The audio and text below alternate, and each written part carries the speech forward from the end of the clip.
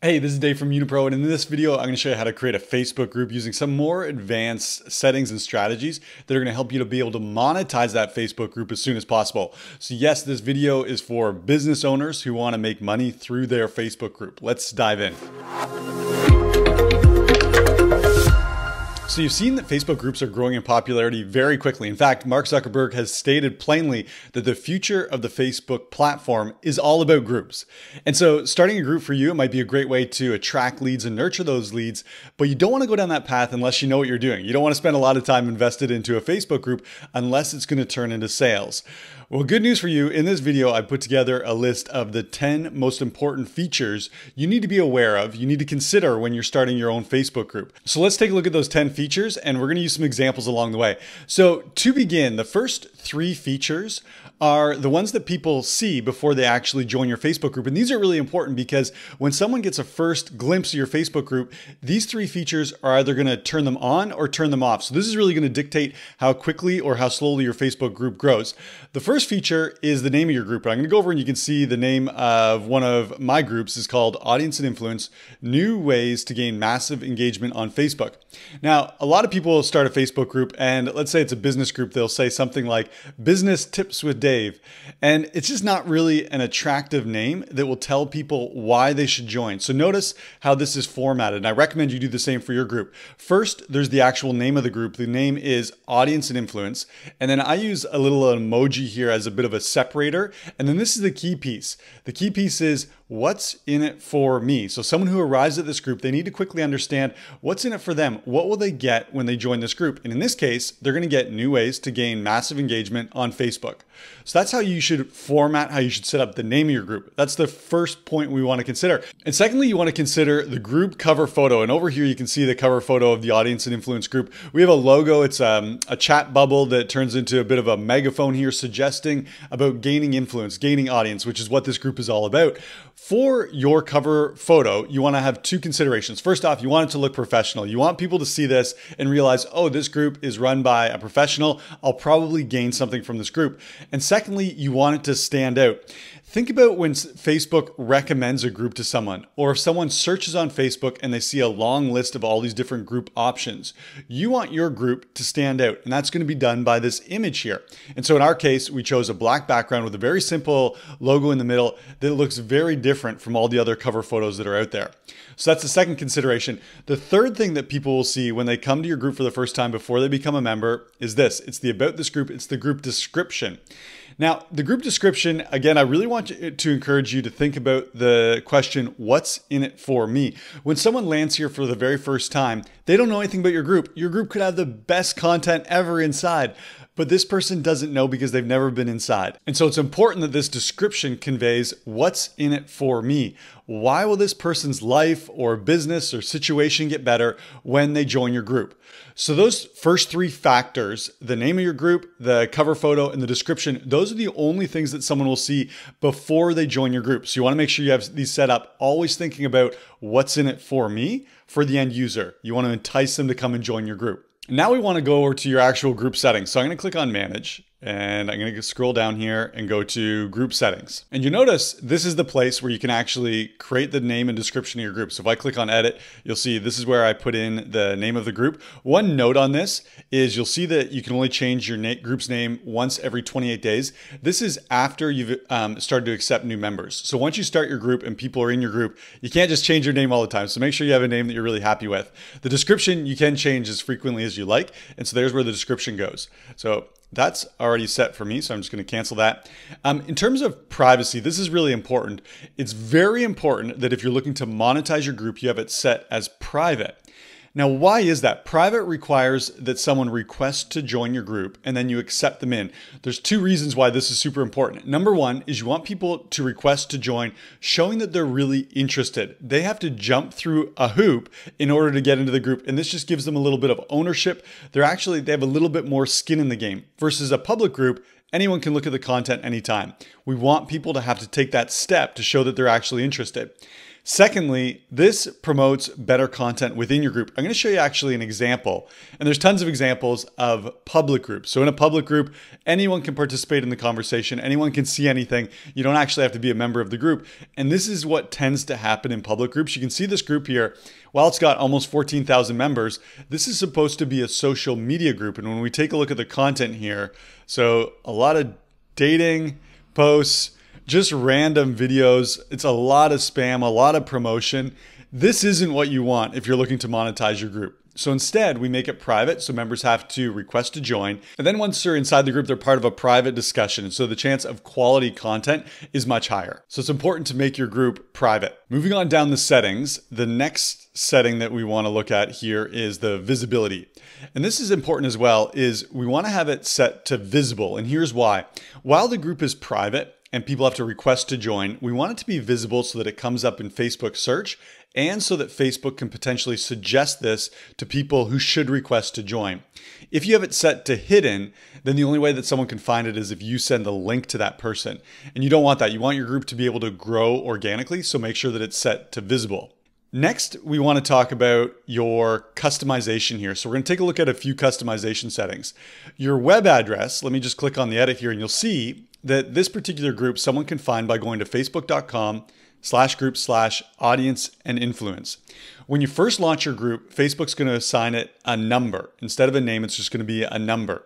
And imagine this, this is why this is really important is we want to be able to speak where the group is and have someone be able to remember that very easily. So imagine, for example, I do a lot of podcasts. If I'm on a podcast and someone says, the host asks me, where can people find out more about you? If I were to say, well, if they just go to Facebook slash groups slash 012789 and give this long string of numbers, no one's going to remember that. Whereas when I set a custom web address, now I can tell people, well, just look in groups for audience and influence. Audience and influence. And it's very easy for someone to remember that and take action on that. So you want to set your customized web address. Now, some of this other stuff you can take a look at and choose whatever settings you like. It's not as important, but there are some more important features for anyone who's looking to monetize your group. So let's take a look at those. Scrolling down here, I'm going to look at the added to group section. And so there's a bunch of different features that you can add to your group that can be really helpful. The one that I recommend is this one right here called guides. And the way that you get this is if you go to add new, and then there's going to be some opportunity for you to add these different features. And you can see down here, I've already added guides to my group. And I'll show you why this one's important. You can take a look at these other features, but for monetization, the guides one is most important. I'm going to go over to our group and I'm going to go into our discussion here. And you'll see at the top, there's this little button here that says guides. Guides is a way for you to store your best content that you want new users to find very easily. And so you can see in here, we have a guide for our live trainings. Now, why would you do this? Well, imagine that you became a new member of our group and you come into the discussion and you see there's all these posts and all this stuff going on and you really want to know, well, where, where are like the most important things? That's what the guides are for. And I'll tell you how powerful this is. Very regularly, I will get people who will message me and they'll say something along the lines of, Dave, I just binge watched all your trainings in the guide section and then they'll go on to ask a question or say that they need help or they suggest that they want to find out more information. But it's because everything was organized into this guide section. Now you can create as many guides as you like. I do recommend that you keep this as simple as possible. So in this particular group, we just have one guide section. If you have 20 guide sections, then it actually defeats the purpose. It becomes a little bit overwhelming. The purpose of the guides is to consolidate your best information, your best content, so that a new member can easily find it and so that they can binge on your best content as well. Now I'm to go back to the settings and I do have, there are three more that I really want to draw your attention to. So I'm to go to group settings and let's scroll down to the bottom again. And you'll see that there's a section right at the very end called apps. Now, this may or may not be relevant to you right away, but this is certainly going to be relevant as you start to monetize your group and really uh, grow and nurture your leads. So I'm going to click on the edit button and you'll see that I've added two apps. I've added Restream.io and also Zoom. Why have I added these? Well, both of these are streaming apps that will allow me to stream either through Restream or through Zoom directly into the group. If you're going to monetize your group, it's really important that you connect and you nurture your leads inside the group. How do you do that? The best way is by live video. It allows you to engage them, it allows you to interact with them, it allows you to build relationships with your group all at once. So you can connect with potentially thousands of people in a single video. Now, you can use the native Facebook Live feature to go live directly into your group, but there are features in Restream or Zoom that I like to use. It gives you more control over the live video stream that you're feeding into your group. Now, in order for you to use one of these apps, you need to add them. And so it's really easy to do. You can just click on add apps and it's going to come up with all the different apps that you can plug right into your group. And there are a lot of options. Again, there are many things that you may want to put into your group, but I recommend having at least one streaming app that gives you more control over the live feeds that you put into your group, aside from just using regular Facebook Live. So all you need to do is go over to search and then you can search for any app you like and just simply add it to your group. So once you have that added, then you'll be able to use the power of those apps in conjunction with your group. It's amazing. There's so many options, so you can definitely go explore that. There are two more very, very important features or settings that I'd like to draw your attention to. I'm going to go back to manage, and this time I'm going to go over here and you'll see there's something called membership questions. And I'm sure you've encountered this before. When you go to join a group, you're asked questions before you're able to actually, your request to join the group actually goes through. And so in this case, Facebook, it allows us to have three questions. I like to use all three, and it's really important that you do so strategically. So let me walk you through the psychology. There's actually a lot of psychology that goes into these three questions, why we have them set up the way that we do. So you'll notice the first question, it says required, one out of three, and it says, be honest, what's the current status of your engagement, your audience engagement on Facebook? Now remember, this group that I run here, Audience and Influence, it's all about engagement on Facebook, building a bigger audience. And so I wanna know from people who are first joining the group, I want to know how are you doing in terms of what we talk about in this group? So let's say your group is a fitness group. You might want to ask how people are doing with their fitness. Maybe it's a sales group. You want to ask people how they're doing with their sales. The key here, the strategy here, the psychology here is that I want people who are coming into the group to do an honest assessment of where they're at in terms of Facebook engagement. And I'll tell you, most people, they will choose this. They will say, not great. I get the odd like and comment, but that's about it. What does this do? Well, it puts them in a psychological state of coming into this group, understanding that they have a problem. Very important because now they come in more receptive to looking for a solution. Speaking of which, that leads us into question number two. Notice I wrote required two out of three. We put together an in depth training that shows how we get 100 to 200 new members into our Facebook group per week and for free. Want us to send it to you. So, in question number one, this person admits, I've got a problem, which primes them to want a solution. Now I'm presenting them with a very juicy solution. Who wouldn't want to add 100 to 200 new members to their Facebook group for free? So almost everyone who says either, okay, I get some engagement or I'm not so great, they admit that they have a problem. Almost all of them say, yes, please, send me this training. I need to know more. And now they're opening up an opportunity for me to actually offer them some help. Third question, required, three out of three. What is your best email address where we can connect you with our private trainings, tools, and resources? Now, there's a psychological phenomenon known as escalating commitments. And simply what it means is when someone says yes to a small thing, they'll say yes to something that's slightly bigger, and then they'll say yes to something that's slightly bigger than that. That's exactly what we're doing here is we want people to say yes by answering this question. Simply to answer the question, they're playing the game, they're saying, yes, I'll participate. Then we want them to say, yes, I want some help. I admitted I have a problem here. Yes, I want some help.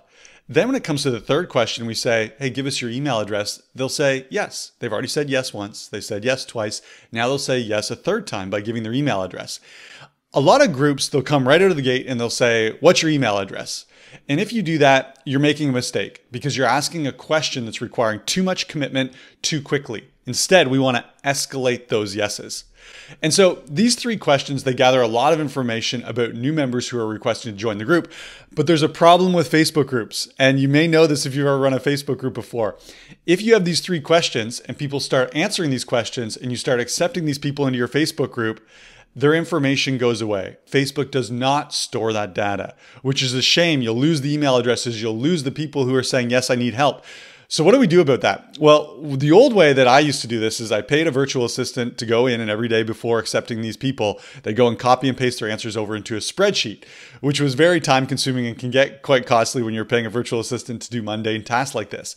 And so instead of that, we've developed a way to do this automatically. Let me show you. We have a software called YunaPRO, and one of the features of YunaPRO is it manages our group members. And I'll show you here what it does is I'm going to click on manage, and you'll see that it'll take me over to our audience and influence group. And this is where pending members would be. Now, I just accepted all the new members, so there aren't any members there.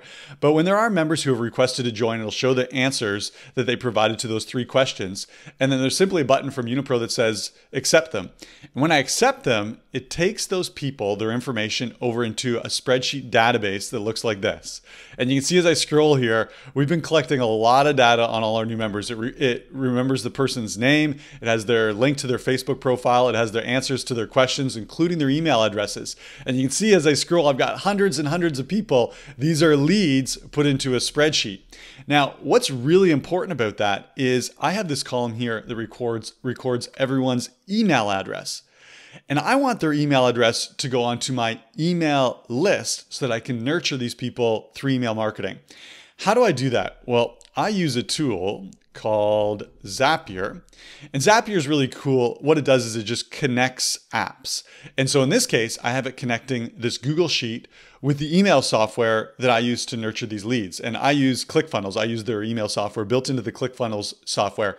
And what that does is when someone joins our Facebook group, they're added to a list that I believe it's called new to Facebook group members or new members to Facebook group. And then from there, they receive, in our case, we send out five emails giving a ton of value, directing these people back to the Facebook group so that they start to consume content in the group. So the algorithm of the Facebook group starts showing more content to them.